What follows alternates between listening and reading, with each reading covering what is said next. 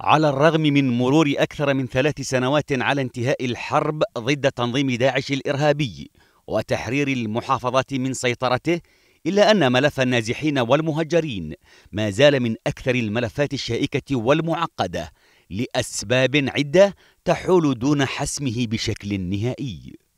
وفي محاولة للوقوف على الأسباب الحقيقية لعدم عودة النازحين والجهات المستفيدة من وجود مخيمات النزوح سيما في محافظة ديالا تتجلى مشكلتين خطيرتين. الأولى تتمثل بسطوة الميليشيات على بعض المناطق واستغلالها لنفوذها بمنع عودة العوائل إلى مناطقها وإجبارها على البقاء بالمخيمات. والثانية تتمثل باستمرار النزاعات العشائرية في المحافظة.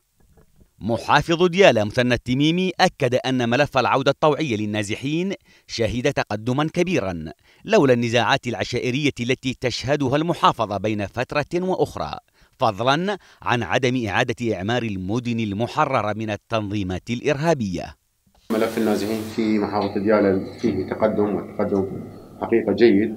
هنالك نسبة بسيطة لم آه، نستطع إعادتها إلى مناطقها بسبب الخلافات العشائرية وبسبب آه، قسم من مناطقنا لحد الآن مدمرة بالكامل من جراء العمليات العسكرية ومن جراء عمليات داعش.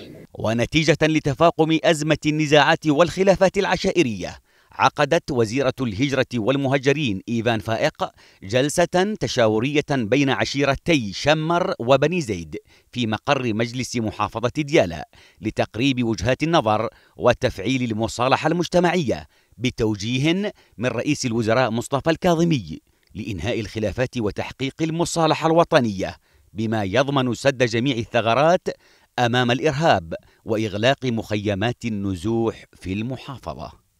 كان لنا لقاء مع عشيرتين موجودة في ناحية كنعان من أجل التوصل إلى محضر الصلح بينهم من أجل عودتهم إلى مناطق سكناهم الأصلية. حقيقة نحن كوزارة الهجرة والمهاجرين داعمين وبشكل كبير لتعزيز الأمن والاستقرار في المناطق وكذلك جديين جدا من ناحية التعامل بشكل متساوي مع كل الفئات اللي موجودين في محافظة ديالى لغرض منه هو الهدف الأساسي للوزارة هو العودة الطوعية إلى مناطق سكناهم ومع تحديد موعد إجراء الانتخابات المبكرة والعمل على تهيئة كافة الإجراءات والاستعدادات لنجاحها يبقى ملف النزوح في عموم مدن العراق هو التحدي الأبرز. أمام الحكومة لضمان العبور إلى مرحلة جديدة تنسجم مع تطلعات العراقيين بمستقبل أفضل.